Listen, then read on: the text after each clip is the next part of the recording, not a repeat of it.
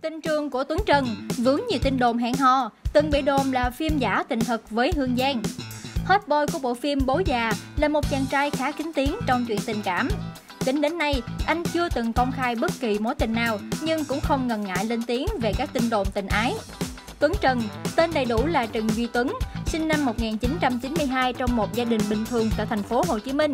Ở thời điểm hiện tại, với vai chính trong bộ phim Bố già, anh đã nhanh chóng trở nên nổi tiếng và là nam thần màn ảnh rất được săn đón. Nhờ sở hữu ngoại hình điển trai và nét diễn xuất tự nhiên, anh chàng đã dễ dàng lọt vào mắt xanh của các đạo diễn và cũng từng có cơ hội tham gia đóng nhiều MV, phim và cả web drama.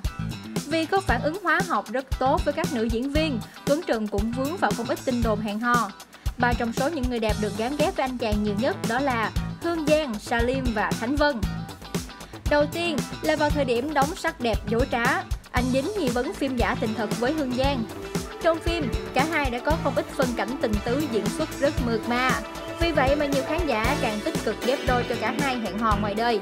Tuy nhiên sau đó, để đập tan mọi đồn đoán, Tuấn Trần đã lên tiếng khẳng định cả hai chỉ là bạn bè thân thiết. Hot boy bố già còn từng bị đồn hẹn hò với Salim sau khi cả hai đóng chung web drama 21 ngày yêu. Sau đó thì chính anh cũng đã thừa nhận bản thân mình từng say nắng nàng hot girl cùng tuổi trong quá trình quay. Về phía Salim, cô nàng cũng cho biết có sự rung động với Tuấn Trần. Tuy nhiên sau đó, cả hai đều cho rằng sự rung động là việc cần thiết bởi họ nghĩ muốn khán giả cảm nhận và tin vào tình yêu của nhân vật thì diễn viên phải dành cho nhau tình cảm chân thật. Đến khi tham gia trong dự án web drama Xin chào Papa, nam diễn viên trẻ đã có không ít phân cảnh tình cảm với Khánh Vân. Cả hai trông rất đẹp đôi trên màn ảnh nên nhiều khán giả đã bày tỏ sự ủng hộ nếu như họ hẹn hò. Sau đó, Tuấn Trần lên tiếng nói rằng anh và Khánh Vân chỉ đơn giản là bạn bè, đồng nghiệp tốt của nhau. Kết thúc bộ phim, cả hai vẫn thường xuyên nhắn tin trao đổi, hẹn ekip đi ăn uống tán gẫu, chứ chưa nghĩ đến chuyện hẹn hò. Trước khi có được thành công như ngày hôm nay, ít ai biết được rằng Tuấn Trần đã từng có một tuổi thơ cơ cực.